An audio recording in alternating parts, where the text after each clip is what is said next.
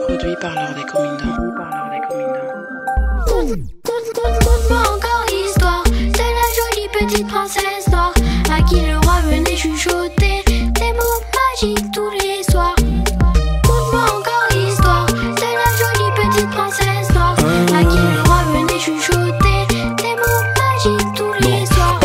C'est l'histoire d'un des rois les plus puissants de la terre. Sur le trône d'un royaume africain prospère. Paradis terrestre, mille et une richesses. Mais rien n'était plus précieux que sa petite princesse. Petite reine toute belle comme toi. Jolie teint noir caramel comme toi. Petite fille pleine de malice Au regard déjà vif et rempli d'étincelles comme toi. Protéger le trône était un pari lourd Et le roi s'y attelait de nuit comme de jour. Mais quoi qu'il arrive, il se faisait un devoir De venir chuchoter à l'oreille de sa fille tous les soirs En lui disant N'oublie pas, surtout n'oublie pas, n'oublie pas Que c'est le sang des rois et le feu des étoiles Qui brûle en toi, n'oublie pas encore l'histoire, c'est la jolie petite princesse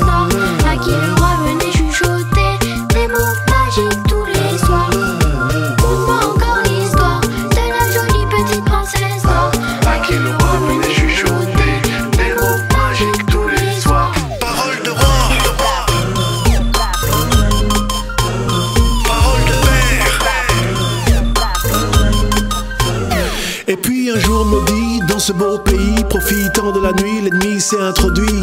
Derrière lui, que des pleurs et des cris, un royaume détruit, le roi perdit la vie. Capturé par centaines, déporté vers une contrée lointaine, la petite princesse africaine et les siens rencontraient maintenant le fouet et les chaînes. Mais à mesure qu'elle avançait en âge, son petit cœur se remplissait de courage. Et caché au fin fond de sa mémoire, une petite voix venait la réconforter tous les soirs en lui disant N'oublie pas, surtout n'oublie pas, n'oublie pas que c'est le sang des rois et le feu des étoiles qui brûle en toi. N'oublie pas. eh.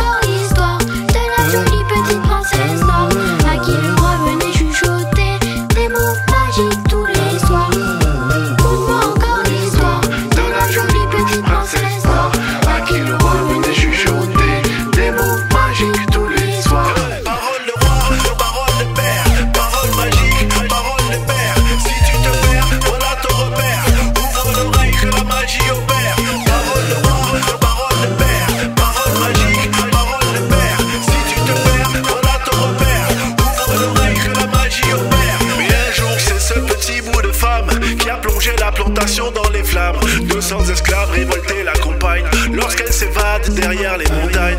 Oh, oh, oh, au final, c'est l'histoire d'une courageuse princesse noire à la tête d'un royaume fondé par une armée d'esclaves libérés.